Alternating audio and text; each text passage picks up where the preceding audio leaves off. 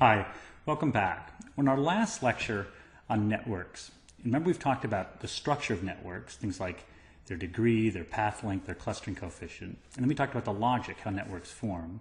In this lecture, we're going to talk about the functionality of that structure. So when a network has some structure to it, it has some degree distribution, it has a connectedness, it has a clustering coefficient, and what we can ask is, how do those properties of that network allow it to carry out different functions?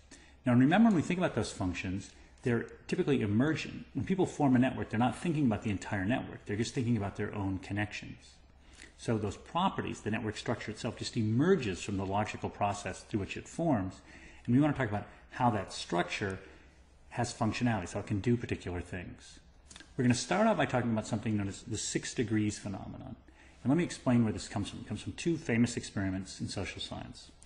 So Stanley Milgram in the 60s asked 296 people from Nebraska to get a letter to a stockbroker in Boston. Now the rule is they could only send the letter to someone they knew on a first name basis. And what he found is that on average of the letters that got there, it took about six steps. Now Duncan Watts, you know, almost 40 years later, redid this experiment with 48,000 people on the internet, and they had to send an email to someone they knew on a first name basis and try and get it eventually to these, you know, target people all around the globe. And what he found again that the average number of steps was six. So it took typically six steps to get from one person to another. So there's a six degrees phenomenon that we want to understand how that can be. So we're going to do this by looking at a variant of the small worlds network. So we know that social networks have this small world sort of structure to them. We're going to use that to explain how you can get six degrees of separation. So when people form friendship networks, they don't do it with the intent of creating a six degrees of separation world network. We're going to show how that just emerges from the structure. So we're going to start out by simplifying the small world network as follows. We're going to assume that each person has a group of friends. C of them belong to a clique. So your clique friends are all going to be friends with each other. And then you've got a few random friends off to the side. So you've got C clique friends and R random friends. Let me show you what this looks like. So here's a clique, and everybody within the clique we're going to assume is friends with everybody else. So it's got a very high clustering coefficient. And then each person in the clique also has one random friend, and that random friend belongs to some other clique. Now I need to introduce a new idea. This is called a K neighbor. So a one neighbor is someone that you're connected to. So that'd be a one neighbor. A two neighbor is someone who's connected to someone you're connected to. And a three neighbor is someone who's connected to someone who's connected to someone who's connected to you. So what you get is you're three steps away. Now, if there's also a connection between these two people, so this person is both one step away and three steps away, we would classify them as a one neighbor. So, so the shortest distance between one person and another. So your three neighbors are the people who are three steps away, but they're not two steps away or one step away. So six degrees of separation is going to mean that someone is six steps away, but not five, four, three, two, or one. So let me show this graphically. I'm looking at this person here. The one neighbors are going to be the two people that he's directly connected to. The two neighbors aren't going to include these two people he's directly connected to, but it will include these two people who are connected to the people he's connected to. So one neighbors are who you're connected to, two neighbors are people who are connected to people you're connected to. That's the idea. Now we're going to use this to show how you can get six degrees of separation. Here's how it works. If you look at a person in this random clique network, what they've got is they've got who are their one neighbors? It's their clique friends, which we'll represent by this C, and then their random friends, which we'll represent as being red. Those are the one neighbors. Now, who are the two neighbors? Well, their two neighbors are their clique friends, random friends, that's these people, their random friends, random friends, which are these two people, and then finally their random friends, clique friends, which are these people. So all I've done is they've got clique friends and random friends. I've just sort of write, written all this stuff out. But what about CC? What about the clique friends, clique friends? Well, my clique friends, clique friends are just equal to my clique friends. So if I think about how I get my two neighbors, I just take clique random, random, random, random, clique, but I don't add in clique clique because those are just the clique friends. All right? What about the three neighbors? Well, I do the same thing. I've got my random friends, random friends, random friends, my random friends, random friends, clique friends, right? My random friends, clique friends, random friends. So who are my random friends, clique friends, random friends? So I'm going to click. I've got some random friends. My random friends belong to a clique. And then I've got their clique friends, random friends. That's who these people are. So I can just write down all possible combinations of three. Random clique, clique, random, random random clique, that sort of thing. However, I can't write down random clique clique. Because if I have two cliques in a row, my random friends, this is me, I've got a random friend and he's in a clique. My random friends clique friends, which are these people, well, their clique friends are the same people. So random clique clique is the same as random as random clique. And clique clique random is the same as clique random. And clique clique clique is just my same clique. So all I have to do is write out all these combinations, and that gives me the total number of three neighbors. Well, let's do this in a real case. So let's take, I've got 140 click friends and 10 random friends. And this is actually approximately the number of friends that people might have. People have about 150 friends. Most are sort of close to you. So let's compute the number of one neighbors. Well, that's just equal to 150. What about the number of two neighbors? Well, I've got my clique friends, random friends, my random friends, clique friends, and my random friends, random friends. So that's going to be I've got 140 clique friends, and each has 10 random friends, so that's going to be 1,400. I've got 10 random friends, each one has 140 clique friends, so that's another 1,400. And then I've got 10 random friends, each of whom has 10 random friends. So that gives me another 100, which gives me 2,900 if I add all that up. So I've got 151 neighbors. I've got 2,902 neighbors. What about three neighbors? Well, here I've got random, random, random, random, random, clique, random, clique, random, and clique, random, random, and then clique, random, clique. Those are all the possibilities. So if I do this, I'm going to get 10 times 10 times 10, which is 1,000. I'm going to get 10 times 10 times 140, which is going to be 14,000. That's a lot. I'm going to get another random clique random, so that's another 14,000. And then I've got this, which is another 14,000. And then here I've got 140 times 10, which is 1,400 times 140, which is going to give me 1,400, and then I'm going to get plus 56, which gives me 196,000. So when I add all this together, I'm going to get 229,000 three neighbors. So that's a lot. I've got 229,003 neighbors, 151 neighbors, 2,902 neighbors,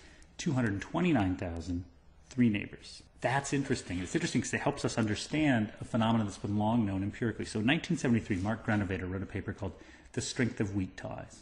And what he found in this paper is if you think of the important things that happen in your life, like the job you get, who you marry, where you live, all sorts of important things, it doesn't depend on your one neighbors, your close friends. It tends to come from your three and your two neighbors and your three neighbors. These weak ties, these people who you're remotely connected to, end up having a big effect on your life. Well, let's think about who these three neighbors are. So a three neighbor could be your roommate's brother's friend, right? One, two, three. Could be your mother's coworker's daughter. One, two, three. Or it could be your high school roommate's, college roommate's dad. Again, one, two, three. So three neighbors aren't that far away, and they actually can seem close. They actually become the points of sort of interesting story. Like I actually got a job with my roommate brother's friend. He hired me for his firm. It doesn't seem that far fetched. In fact, it's not far fetched because, as Granovetter shows, that's how most people get jobs. Why does that happen? Well, let's look. Remember, we've got 151 neighbors, 2,902 neighbors, and 229,003 neighbors. There's so many more of these three neighbors that they're just that much more likely to get you a job. They're also that much more likely to introduce you to the person you're going to marry. They're also that much more likely to tell you about a great new place to live or a place to go on vacation. It's just the sheer numbers. So this puzzle, the sort of strength of weak ties puzzle, this idea that sort of loose connections get you things, isn't a puzzle once we write down a model and do a little bit of math. Let's look at other network structures. So here's a network of collaboration among collaborations among scientists. What you see that these that there's sort of some people who collaborate more with others, they're more central to the production of knowledge. And if we think back to our internet model, our World Wide Web model, we saw that we got that power law distribution. So there was some nodes that were connected to a lot, and there were most nodes were connected to few.